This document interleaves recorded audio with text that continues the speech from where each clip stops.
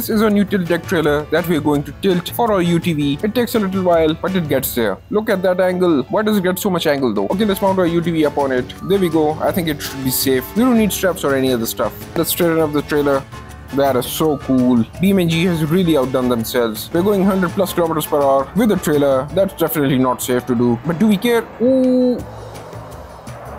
Yep, that's some bad brakes. Oh my god, I just hit it.